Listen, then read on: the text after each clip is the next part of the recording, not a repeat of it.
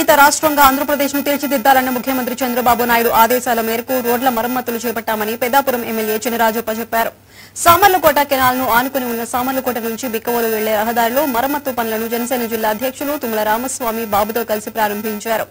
సంక్రాంతి లోపల పూర్తి స్థాయిలో రోడ్ల నిర్మాణానికి చర్యలు తీసుకుంటామని చినరాజప్ప చెప్పారు.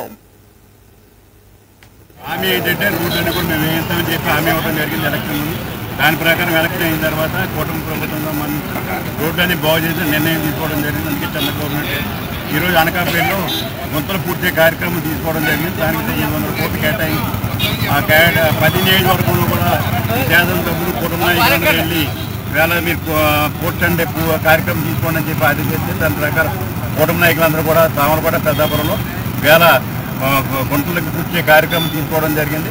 ఇక్కడ మాకు రామలవాడకు సంబంధించి కోటి యాభై లక్షలు పెద్దాపురం సంబంధించి కోటి యాభై లక్షలు ట్యాంక్ అయ్యి గుంటలన్నీ కూడా జనవరి నాటి జనవరి నాటికి పూర్తి చేయాలి పండగ నాటికి పూర్తి చేయాలని చెప్పి ఆ, అధికారులు చెప్పడం జరిగింది.